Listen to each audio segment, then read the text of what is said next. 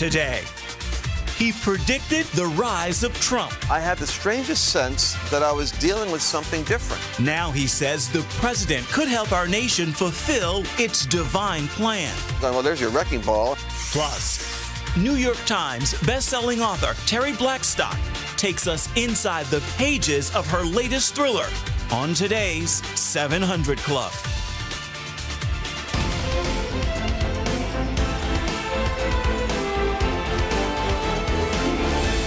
Well, folks, the news is coming at you fast and furious. Man, hearings with Comey and hearings with the new uh, Supreme Court nominee, and uh, the president now today is going to Capitol Hill with a message for congressional Republicans. It's time to fulfill a top campaign promise repeal and replace Obamacare. Well, the discussion today comes after the president traveled to Kentucky last night, where he promised to move ahead with his agenda for America. Heather Sells has the story. Thousands stood in line in Louisville to hear the president talk about his push to repeal and replace Obamacare, along with other issues like jobs, trade, and immigration reform. The president is pushing for a vote Thursday in the House and his remarks last night conveyed a sense of urgency. He promised to move quickly to other important matters, but he says the health care bill has to be passed first. Finally, we want a very big tax cut, but cannot do that until we keep our promise to repeal and replace the disaster known as Obamacare. The president blasted Democrats for jamming Obamacare through Congress seven years ago. But right now, he must convince the most conservative House members in his own party of the merits of his plan. So, Republicans are adding last minute revisions to sweeten the deal. They include a more generous tax credit for older Americans and curbing the future growth of Medicaid. The president says the Republican bill will also lower the cost of medicine. We're going to bring it down. We're going to have a great competitive bidding process. Medicine prices will be coming way down, way, way, way down, and that's going to happen fast. The head of the conservative House Freedom Caucus is already predicting that the repeal plan won't pass. Still, the president plans to court House Republican holdouts on the Hill today. And he promised the Kentucky crowd victory in the and end. Remember, we're going to negotiate and it's going to go to the Senate and back and forth. The end result is going to be wonderful and it's going to work great. Heather Sells, CBN News. Well, the president is a tough negotiator, and I think he's going to win on this one. The, the, the, Republicans have got to pass this thing. They've got to repeal Obamacare. They've got to live up to their promises. The American people want action, and they cannot continue this stuff. I mean, there's only so many deals you can make and only so many concessions you can get before you become an obstructionist and you don't need it. But speaking of obstruction, can you believe the Democrats are going to try to smear this wonderful man, Neil Gorsuch, who's, who's probably the, the most extraordinarily qualified nominee to the Supreme Court we've ever had. He's unbelievable. And on the second day of his confirmation hearings, here's what the story is with John Jessup. At today's hearing expected to be much tougher for Judge Gorsuch after an easier first day of opening statements. But the Trump administration had a more difficult time yesterday in another hearing in the House, where the FBI director addressed Russia's attempts to influence last year's presidential election. Jenna Browder has that story. In my decade on the bench, I've tried to treat all who come before me fairly and with respect. After more than three hours of listening, Supreme Court nominee Neil Gorsuch finally spoke at his confirmation hearing, touting his family and Colorado roots. To my teenage daughters watching out west, bathing chickens for the county fair, devising ways to keep our determined pet goat out of the garden. Monday was the first of four days of hearings for Gorsuch, who's likely to take on the legacy of the late Justice Antonin Scalia. Republican senators stressed the importance of this appointment. Arguably, the most important thing the U.S. Senate will do this year is confirm the next Supreme Court justice. Still upset about former President Obama's High Court nominee, Merrick Garland, who didn't get a hearing from Senate Republicans last year, there were some tense moments for Democrats. Your nomination is part of a Republican strategy to capture our judicial branch of government. That is why the Senate Republicans kept this Supreme Court vac- seat vacant for more than a year. In these opening remarks, lawmakers questioned how Gorsuch would handle issues like Roe v. Wade, the Second Amendment, and immigration.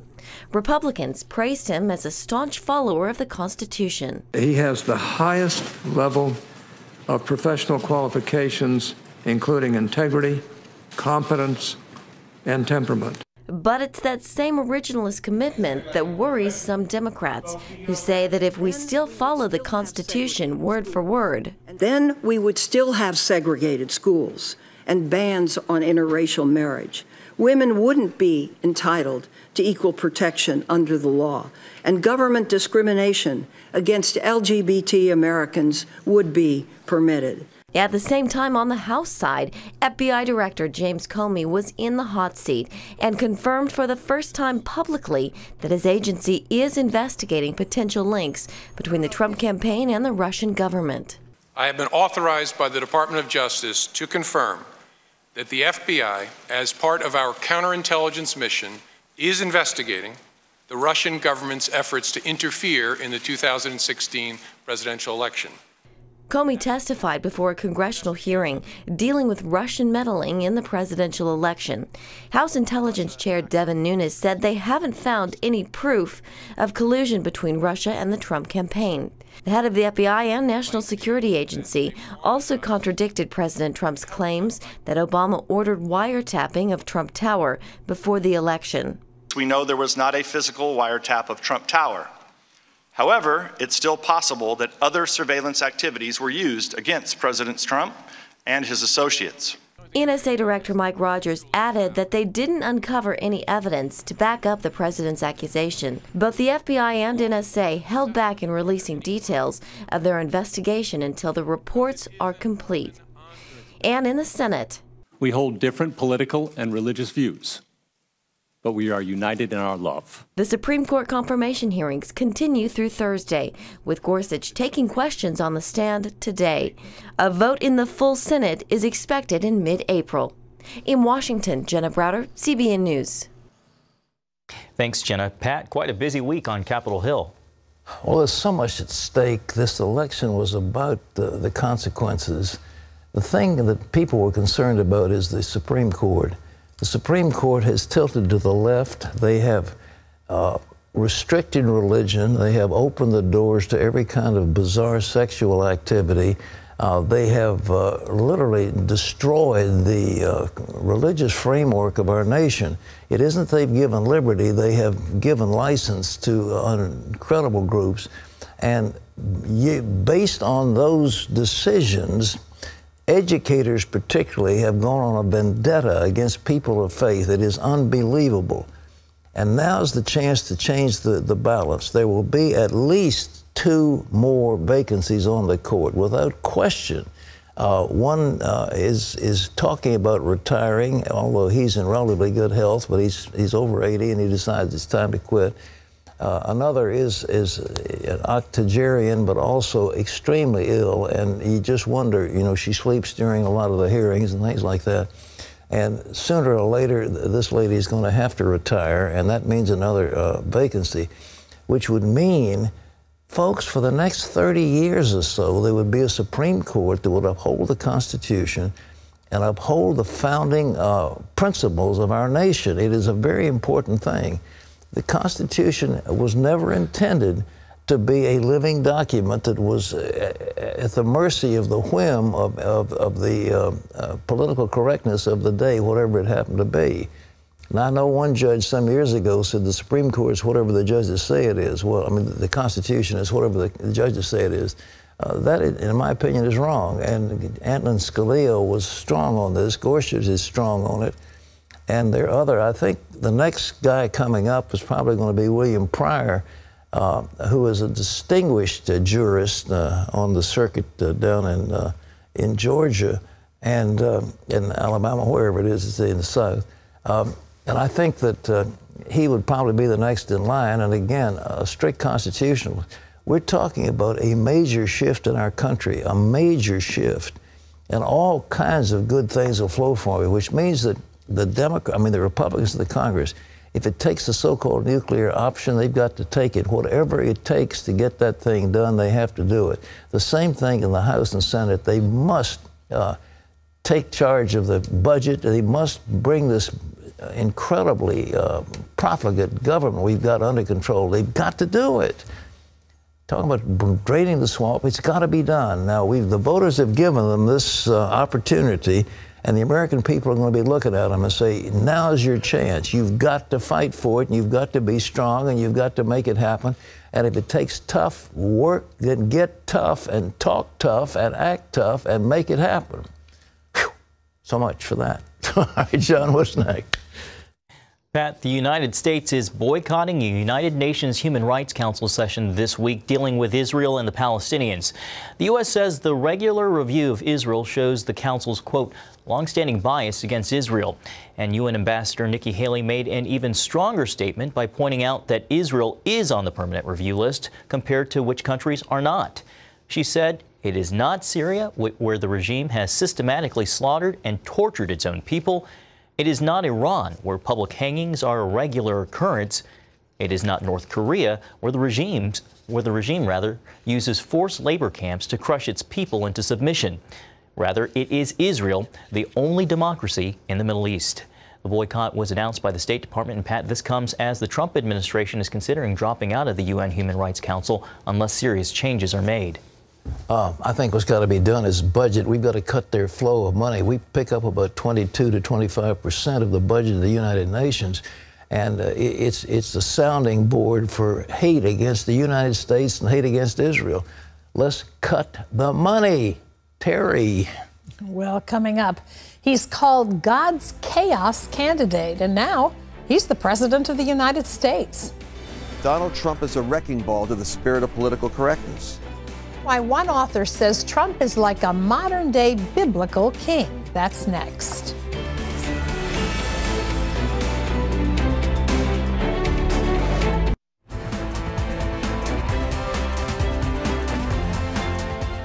Some years ago, President Harry Truman said, I am Cyrus. Imagine that. Why? Well, who was Cyrus? You remember? If you read your Bible, you read the history. Cyrus was a Persian king uh, who helped the Jews rebuild their temple. He was a friend of Israel.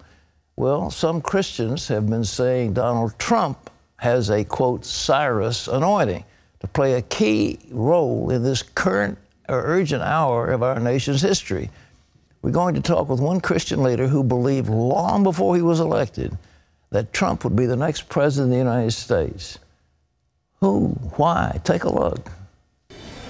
In the months leading up to the 2016 presidential election, author and speaker Lance Wallnau was one of several evangelical Christian leaders who believed against all odds that Donald Trump would be the 45th president of the United States. I had the strangest sense that I was dealing with something different. I was dealing with someone who wasn't an evangelical Christian, who was anointed for an assignment. And I didn't know what, where to go with that. So I went home, and all that I heard the Lord say is Donald Trump is a wrecking ball to the spirit of political correctness. Wallnau compared Trump to the Persian king Cyrus cited in the Bible.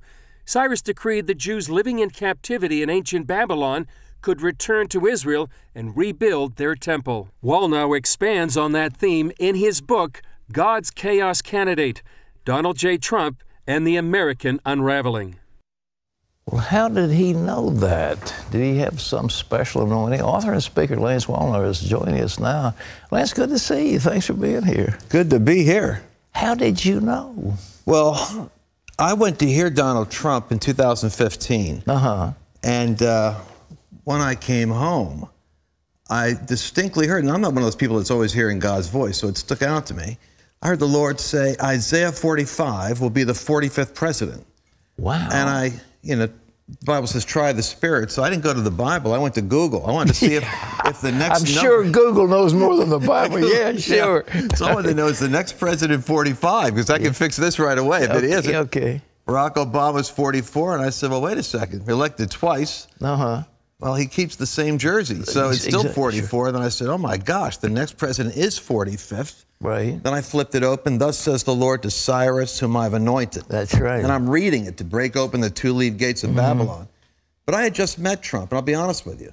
We have a lot of great conservatives at that time running, and Yeah, Christians. Exactly. And we would like to see Christians and conservatives. And I Mhm. wasn't so sure that Donald Trump was an evangelical. He's saying he's a Christian, but I'm saying, I don't know, with a bunch of preachers. We're checking this out. Often married casino operator, uh, uh, uh, art of the deal, amazing, Exactly. yeah, unbelievable. So Yeah. I didn't know, and I, and I, but then I read on in this 45th chapter. It says, Isaiah says, "Though you have not known me, I have anointed you for Israel's sake." Mhm. And when I saw that, though you have not known me, I circled it and I said, "My God, this is crazy theology. God's bringing in a heathen ruler Mhm. with His anointing, who doesn't yet know Him, but God's hand is on him." And then I read on, "Verily, thou art a God that hides thyself." Mhm. And I said, Dear God, you have hidden this, you have hidden your hand in this unusual man.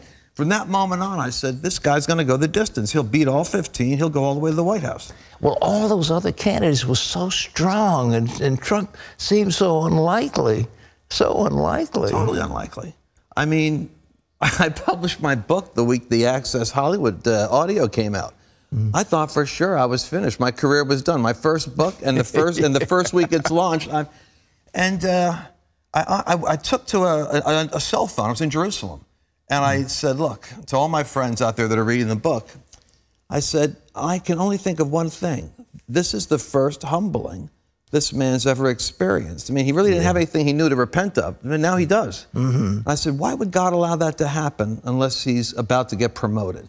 I said, I believe God's got this. I know that Trump will know it was the hand of God that got him in office from this moment forward. Well, the evangelicals went like 83% for him. You know, it's just amazing. And, but we, we haven't had a president in, my, in our lifetime that was so pro-evangelical and has spoken for the for the issues that evangelicals care about. I mean, do you remember that soundbite, that horrendous moment when he was arguing with the Pope? Who gets in a dust up with the Pope on the campaign trail? and he's yelling, I'm a Christian and I'm proud of it.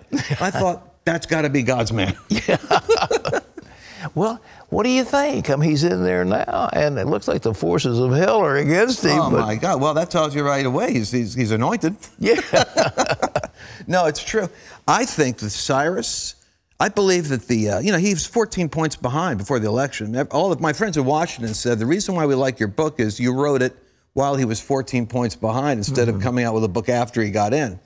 The fact is, Daniel interceded for a transition in government. I believe God's people prayed in a miracle. I believe Cyrus is a secular reformer, but not a spiritual reformer. Mm-hmm. I think the next thing that'll happen will be biblical. Ezra. I think Donald Trump's going to make a proclamation. If, if anyone's capable of an unpredictable utterance, it's Donald Trump. yeah, sure. Cyrus made a proclamation that authorized the Jews to do something. I Mm-hmm. think I think this president's going to put a demand on people of faith to make a difference in America. Mhm. He's going to say something because it's Ezra that then mobilizes the, the body of Christ at that time Right. to move in the direction of something, and then Nehemiah shows up and begins to rebuild the wall. Mm-hmm. I mm-hmm. think that wall of self government is being restored in America, but it's going to require a move of God. And you've been preaching this for years an Absolutely. awakening. Absolutely. But this kind of government, this kind of Supreme Court you're talking about, can create the skeletal structure for an awakening that can retake territory we've lost for two decades. Well, just think of what he's got in his hand. If he changes the Supreme Court, we're looking at the repeal of Roe versus Wade. The abortion on demand will be curtailed somewhat.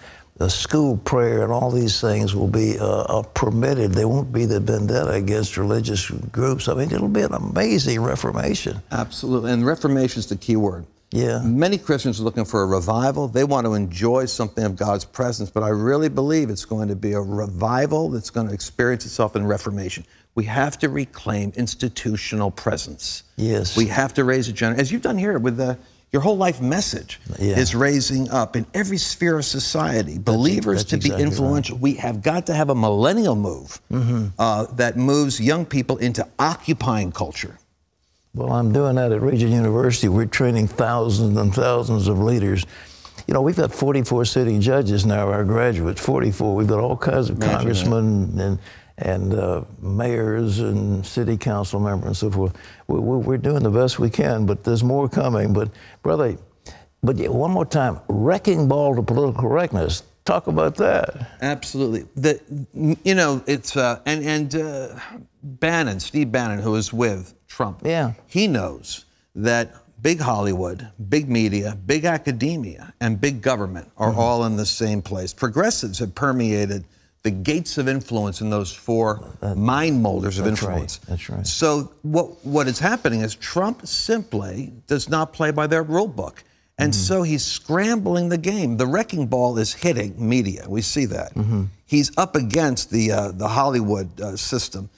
I believe that God's using him to destabilize these progressive institutions, the penetration of that progressive ideology in these places, so that believers and other viewpoints can go into them Yes. and establish credibility also. What's this crucible you talk about in your book? Well, the crucible is America's had three, uh, three moments of great crises in defining itself the Revolutionary War, the Civil War, coming out of World War II and the Depression. Every 70 or 80 years, we go into a cycle where America hits a defining moment, a crucible. We're actually in this, and it's interesting because Bannon and uh, some Harvard researchers have, you know, guys have been reading each other's stuff, predicted there would be a crisis around this time defining America. And I saw that crisis coming economically, and you and you were speaking about it too. Oh, oh, yes, And I knew that if Yeah. this election did not go the way that it's going, we would have seen the collapse of this system, and then a, so- and then the whole, uh, you know, a whole restructuring globally. The uh, the crisis we're in right now isn't over yet, but what we have is somebody that God can use that can create a reset. Mm-hmm. And with that reset, we have an opportunity of sustaining the voice of America for for who knows how much longer. Yeah, but it's a cycle of American history, and it's the fourth turning or the fourth crucible. We're entering it right now, and the unraveling of America is what you're seeing. All the, vo- the mm-hmm. cacophony of voices trying to redefine who is an American, what is an American, what is a married couple, what is a, a child. That chaos is where this candidate got sucked in as a president. Mm-hmm. I believe that he, he's going to stand on the side of truth if the church stands up as a force. He believes in the power of the church. Sure. Well, I think it will. Well, you know, it's funny. I, I knew the same thing. I didn't quite know it as you did, but I told people he was going to win uh, because I, I couldn't see another eight years of Obama. uh, That, this was this nation will no longer exist as we have known it through history. It, it was it was in the you know death throes. And there had to be a change. We could not permit this thing to continue. And but the people are so upset they can't stand the thought that Hillary Clinton didn't win, though, because they. You know, Well, everything that's going on now is, Hmm. in, I, and you're an experienced observer of this stuff. It's theatrics. It's trying to unravel the credibility of Donald Mm-hmm. Trump as a president by implying that somehow it's illegitimate because of Russia. That's right. Now they have absolutely no evidence. That's right. No evidence that Russia's involved, but they're going to continue that narrative because it's the best story they got to keep on hitting on the credibility of him as a president. Well, man, I appreciate you being here, and I appreciate what you've done. And this book, by the way, is called God's Chaos Candidate. What a great title! And uh, Dr. Lance is here with us, and uh, here's the book. It's available where books are sold. Very perceptive. Thank you so much. Thank you. Keep it up. God bless you. All right, Terry, what you got next? Well, coming up, she was a gangster rapper who wanted to be as tough as the men. So she started to dress like one. I wanted to be the one that was in control. I wanted the one that had the power. Hear how she was jolted into changing her life. That's next.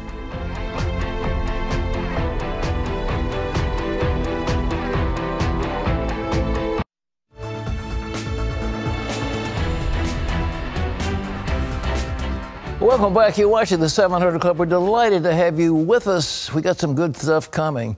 At the height of her career, Venus Burton quit. She had been a star in the underground rap scene, but after years of living a lifestyle consumed by hate, she finally found true love. And here's Venus's story.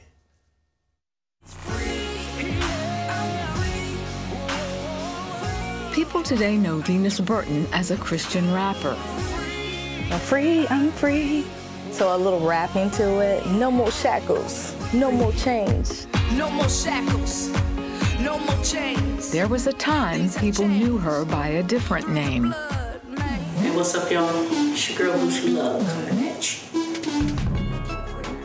They would call me Booski, Booski Love. Now, that was one of my rapping names. Underground rap, gangster rap, I was more of an outlaw. It's like, well, you don't mess with me, I won't mess with you kind of thing. And so in my songs back then, there was a lot of pain that I went through. Venus grew up in Southern California. She lived with her brother Kenny and her single mom Vicky, who worked several jobs. They didn't see a lot of their mother or wayward father. Well, I always wanted to be a daddy's girl. And I thought that I was cheated. Why can I have that? Why can I have a father? And so that caused me to rebel and I got angry and those different emotions began to control my life. Venus was 13 when her mom gave her life to Christ and started taking them to church. At the same time, Venus also started rapping, which helped vent her anger.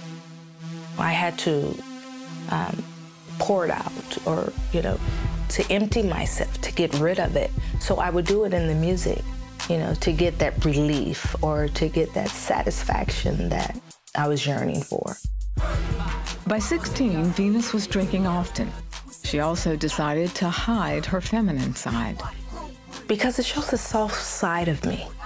It shows the emotions. It showed um, things that I was going through, the hurt and the pain that I was going through, that I was dealing with. She started changing the way she cut her hair and the clothes she wore. She looked and acted more like a man with each passing day. Because I wanted to be that aggressive one. I wanted to be the man role. I wanted to be the one that was in control. I wanted the one that had the power. After two years, the transformation was complete as Venus became attracted to women. In this lifestyle, I was accepted.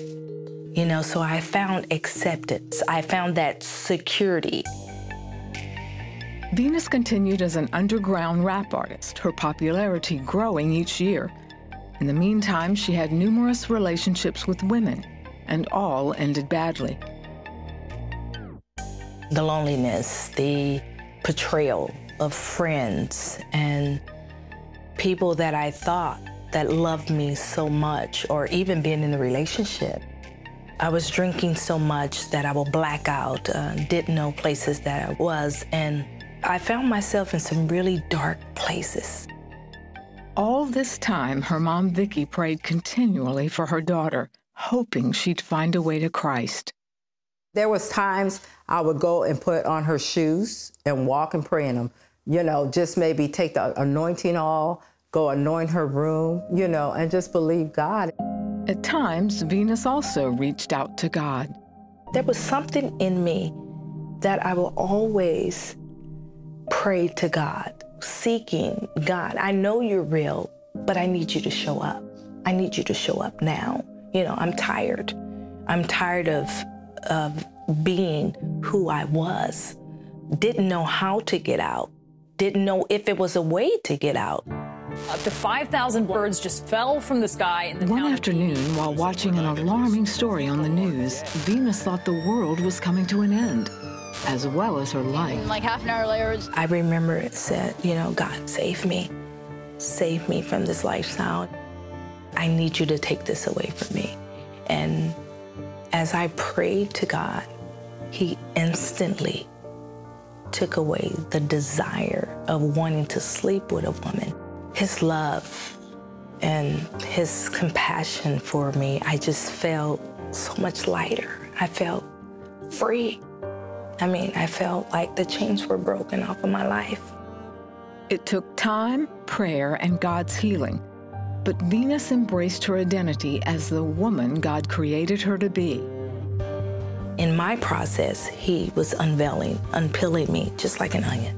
You know, every layer, every hurt, every pain that I was going to, every disappointment, and they were just coming off one by one. Venus and her mom joined forces and minister to hurting people through their radio show. In the basement, Real Talk with VOB. I am your host. That emptiness, the void that I was missing. Jesus, he, he, he, he fulfilled that, that void, that, that emptiness that I was feeling in my heart. He filled it with his love, his love and his compassion for me. And that was really um, the ultimate healing for me to have God Almighty as my Father. Our hearts are restless till they rest in thee. You know, Venus was, like so many, they're searching for something. She thought she could do it by expressing hate, rap songs. Hate. I hate things. I hate myself. And she thought she could do it by changing an identity. She's no longer a woman, she's a man. Now she's going to be acting out with women instead of uh, with uh, members of the other sex. That's what she was going to do. She was caught up in a lesbian lifestyle, caught up in the rap scene, caught up in all of that. Always seeking, because what she really wanted was the love of a father. And you know, the ultimate love is the Heavenly Father, God Almighty. We can't even dream of the love that He has for us. His love is boundless. And the nice thing about it is that He overlooks all of the sin. You see, when, when Venus called on Him, He didn't say, uh, What's this? You've been saying nasty things about me. You've been filled with hate. You've been having sex with women. It's terrible. You know, you don't deserve to come in here. She didn't, he didn't say that to her. He said, Well, welcome home, daughter. You're part of my family, and now I'll make you a true child of God. That's what he'll say to you, because he loves you. Don't turn him down anymore. Don't, don't say, No, you don't understand. It's more fun to be angry. Venus said, Take this away from me, and God will take the bad stuff away from you. Pray with me. If you want, if you want the love of a father, pray with me right now. Bow your head. Say these words and say them from your heart. Jesus, that's right. Jesus, you know me. You know the terrible things I have done and who I am. Lord, I want to be free from all of that. I want to be part of your family.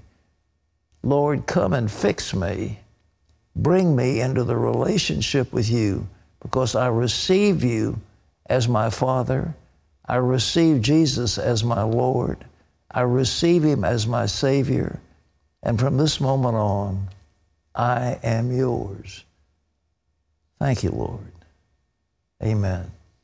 Now, if you prayed with me, I want to give you something. It's called A New Day. It's a little packet. I did a 73 minute teaching on what happens next. What, what, do you do? Well, this is very helpful for you, and I'll give it to you free. You say, well, what do I just, I just prayed that prayer, what do I do next? Well, that, this thing will tell you what to do next. Pick up the telephone, call in. It's a free number. It's easy to remember. It's 800 and it's 700 7000. 700 7000. Somebody's here who loves you. Call right now. If you don't want to call, don't want to give your name, that's fine. Just, but know that the Lord loves you and continue to walk with Him. Here's Terry. Still ahead, a young woman goes on the run after being accused of a crime she didn't commit. That's the story behind Terri Blackstock's newest page turner. She's going to take us inside that latest novel right after this.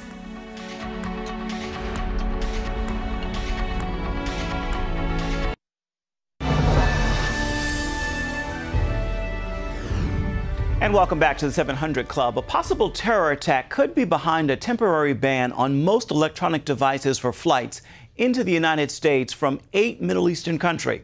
Flights from Cairo, Casablanca, Morocco, Istanbul, Dubai, and Amman, Jordan are among the international restrictions. Experts say intelligence agencies might be aware of a plot in the works, like one that happened last year when a terrorist used a laptop to blow a hole in a jet taking off from Somalia. At least 75 people have been killed, and the death toll is still rising in Peru after days of intense rains caused floods and mudslides. Thousands are now homeless. More than half of the country is under a state of emergency. Officials say the floods are the worst the country has seen in 30 years, and more rain is expected to fall. Remember, you can always get the latest from CBN News by going to our website. It's cbnnews.com. Pat and Terry are back with much more of the 700 Club. It is coming up right after this.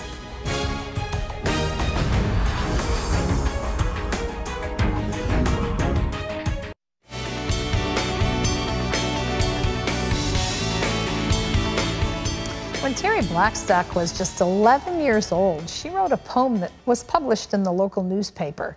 From that point on, she knew she wanted to be a writer. Well, since then, Terri's unique brand of up all night fiction has kept millions of readers in suspense and given them hope along the way. Terri Blackstock's career took off after her first romance novel. When writing for the secular market took a toll on her spiritual life, she began writing suspense novels for a Christian audience. Today, she's a New York Times best-selling author with over 7 million copies sold worldwide. In her latest thriller, If I'm Found, Terri keeps readers on the edge of their seats as female fugitive Casey Cox is on the run, fleeing prosecution from a murder she didn't commit. Terri Blackstock is here with us now. Welcome back. It's good to have you with us. Thank you, Terry. It's great to be here. It was mentioned in that piece that you started out doing romance novels yeah. and then took a turn to suspense, which is a very different kind of writing. What was the, that journey for you? Well, I was a Christian when I went into that market, and I had gotten involved with a group of writers who were breaking into romance. Mm-hmm. And it seemed like a great place to break into the market. And so I, I did 32 of those. I did that for 13 years. Wow. But I, you know, I, I compromised and began adding things that I never intended to mm-hmm. do in the first place. And eventually it took its toll on my spiritual life. So, talk a little bit about this particular book. The latest is If I'm Found. And uh, you had me hooked last night. I, was up till the wee hours reading. Tell us about this story. Well, th- this is from the If I Run series. The first book is If I Run, and it's about a female fugitive named Casey who is she's accused of murdering her best friend. And instead of, um, you know, calling the police when she found his body, she uh, ran, did all the wrong things. And she's an unbeliever. And I'm, I'm trying to show Christianity from the eyes of an unbeliever. Mm-hmm. And um, there is a Christian in the book who is a, he's the one hunting her. He's the Tommy Lee Jones character. and, but he's a Christian, a wounded Christian. Mm-hmm. This is the second in a trilogy. There's one coming yes. out soon, If I Live, right? right? So when you have a three part series like that, is it all in your head before you begin number one, or do you know it's going to be a trilogy? I pretty much, well, I did know this was going to be a trilogy, and I pretty much know how the arc, the story arc, is going to go for mm-hmm. the whole mm-hmm. series. But I have to figure each book out. And I, and I do want each book to stand on its own. So that someone could come in and read this exactly. without having done book number one, and they would still get all the information they need, and and uh, and of course it's not a cliffhanger. It's a it's a satisfying ending that takes you to the next book. Mm-hmm. It's more holding you in suspense as the answers are unraveled. You say that Casey Cox is one of your favorite characters that you've created. Why? Yeah. Well, she's very whimsical and uh, she loves people, but she's in this predicament where she has to hide. So she goes to a new community in each book and she's hiding out and yeah. she's just drawn to people. And I like to put her with Christians because then she sees new facets of Christianity that she hadn't considered before she and the man chasing her, chasing to find her in right. the book, not in a bad way, but really seeking to help unravel this mystery in her life, both have something in common. Yes. What is that? PTSD, post-traumatic stress disorder. He was in. Uh, he was. He was an army veteran, and he has come back, and he's now working as a private investigator to mm-hmm. find her. But he he suffers from a you know a serious form of it, and he he just can't overcome it. And he begins to realize that she has it too, mm. because she had some incidents in her past that um, were very traumatic. And so he, that's how they begin to relate to each other. And then he begins to understand her a little better. So, in writing something like this, where two of your characters now have PTSD, yeah. you must have had to do some research into I that. did, and I was I was shocked to find that 22 U.S. veterans a day commit wow. suicide. A day. A day, and one in three coming home from the war, especially the combat veterans, mm. have PTSD. And, wow. and it, it's just shocking to know that that's happening. But there are people in the population who have it as well because they've had sure. trauma. Uh, so I got very interested in that, and I, you know, I just want to raise awareness about it. Well, when someone struggles with that, if they have a family, if they're married at all, then the whole family yes. struggles as it's, a result yeah, of it. because they have trouble coping with life, mm-hmm. and um, one person said they could, they go to from zero to rage in you know 60 seconds. Yeah. Um, they just can't seem to control their emotions and they need help. And there are a lot of therapies available. There are one of the things that you say about all of the books that you write is that you want them you want them to give hope to people yes. in the end. So how do you how do you plant that in what you're doing so that it's the end result? Well, I just try to show them that um, you know in this world you have trouble, but I have overcome the world, you know, Jesus said. And uh, Dylan learns, he kind of comes back to his faith through watching uh, Casey come to her faith. And I'm kind of mm-hmm. giving away some of book three. but, um, but that is the story arc that um, they kind of bring each other back. And that's where true healing is found in mm-hmm. Christ. Mm-hmm. And um, even though they they have struggles they may need to work through together. They have a purpose now, which is mm-hmm. something they didn't have before, and that always helps. It, I read If I'm Found last night. This is the second in a three part trilogy. When is If I Live out? Well, I just finished it. So, yeah, so it's it's uh, got to go through the editorial process and we'll get it out as is soon as we can. Is that a couple of months or what does that oh, look like? A, longer a little than bit that? longer, yeah. I wish it were faster, but you know, I took a long time writing it. so. Well, when you complete something like this, are you already off and running to the next project? Or yes. You are. Yes, I'm already. Um, I just turned that book in Wednesday of last week, and now I'm thinking about the the next book, yeah. which I'll be. Uh, it'll be a Christmas book. Actually, it's going to be a romance, a Christmas romance. Did you ever have any idea? I mean, here you were wanting to be a writer with you know, the experience you had as a child, did it ever occur to you you'd have this kind of popularity? Never. Oh no. And and when I came into the Christian market, I thought I was really reducing my market. You know that, uh-huh. but that was that was what I wanted to do. I wanted to glorify God, and um, He has just multiplied it. Yeah. It's just you know, it's shocking to me.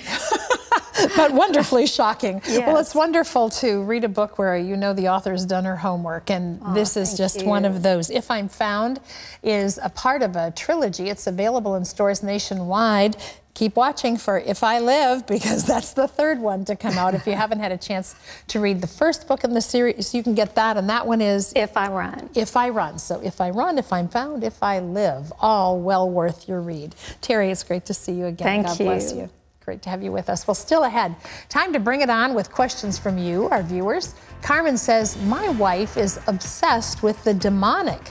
She thinks she needs a deliverance ceremony, but I think she needs therapy. What do I do? Pat will answer that and more when we return.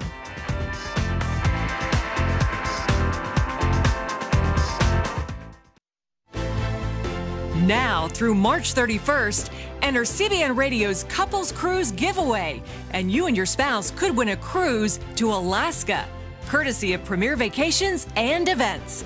Visit CBNRadio.com for more details and to register.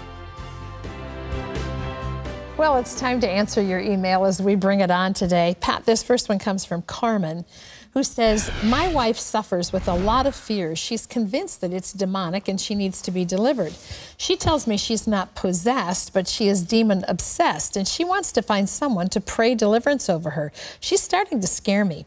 There are a lot of friends out, frauds out there, and I'm concerned she might engage with the wrong people.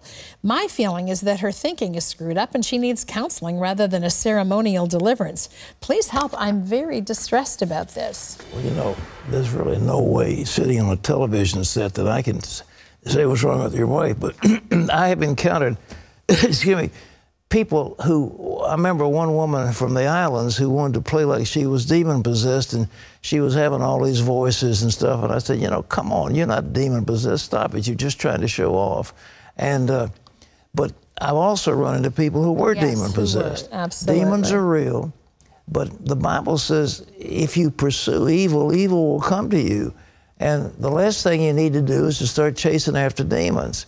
Uh, I mean, you know, she really will get demon possessed and it'll be horrible.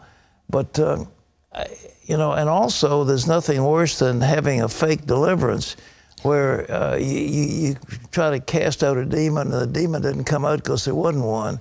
I mean, eh, there's so many frauds. Don't get caught up in this thing. You are absolutely right. Get some sound psychological counseling on that one. If it's demons, I, I understand demons. I've dealt with them, but I, I just think chasing demons is not a, a thing that most of us want to get involved in. All right. Okay, this is Nancy who says, Can everyone speak in tongues, or is it a gift that only some Christians get to have? My Christian friend says not everyone has the gift, and when someone speaks in tongues, they always need an interpreter, or it's not from God. She doesn't believe in words of knowledge and says if someone is claiming to be a seer or a prophet, it's not from the Bible. What do you think I should say to her? Wow. Well, I tell you, ought to tell her to read the Bible to start with. I mean, they don't understand the Bible. Uh, read, uh, what is it, 12th chapter, 1 Corinthians, and, and other uh, chapters that deal with this, the, the gifts of the Spirit. But uh, the, the, they're, they're charismata. Uh, they're, they're grace gifts that the Lord gives, and uh, they're various manifestations of the Holy Spirit. And no, not everybody brings messages in tongues. Not everybody has prophecies. Not everybody has the word of knowledge. Uh, God divides severally as He will, is what the Bible says. And uh, no, you don't have to be a seer or a prophet in order to be moving in the gifts of the Holy Spirit. Read, to some are given a word of knowledge, a word of wisdom. And, you know, there are also wisdom like Solomon. He had, he had practical common sense. But uh, this is a teaching that I haven't got time to get into all of it. But there needs to be an understanding. The Lord wants us all to move in the Holy Spirit. He wants us, uh, you know, and Paul said, but I, I'd rather speak, you know, 10 words in, in an understanding than 10,000 words in a tongue if you can't understand it. And but no, you can speak in tongues in a private prayer language. You don't have to have an interpreter. Uh, if you speak in a congregation and bring a message, there's supposed to be somebody who can interpret it in the vernacular. There's so, a bunch of rules, but you haven't got them all. So I recommend you read the Bible very carefully, and it all sets it out there. Okay, this is Stephanie who says, My sister is hurting in her heart.